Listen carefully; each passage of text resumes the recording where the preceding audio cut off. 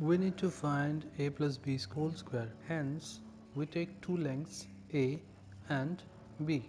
Since we need a square that is a plus b whole square. Hence we build up a square whose all sides are a plus b. So the area of this square whose sides are a plus b is equal to a plus b whole square. Area of a square is equal to side into side. Here the side is equal to a plus b Hence the area of this square is equal to a plus b into a plus b that is equal to, to a plus b whole square. And we need to find the formula of this a plus b whole square. As you can see if we introduce two sides which are equal to the side a then it makes up a square whose sides are a. Similarly, we can do it for B on the top right corner by bringing two sides which are equal to B. Thus, we get two squares. The blue one is a square and the red one is b square. You should be able to see two rectangles, one on the top and one on the bottom right and both heads and both have the length a and the breadth b. Hence the area of these rectangles